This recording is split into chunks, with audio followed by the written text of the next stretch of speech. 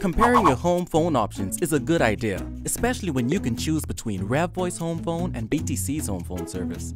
With REVOICE, you get more than 20 free calling features, unlimited local calls, and unlimited calls to any REVOICE customer anywhere.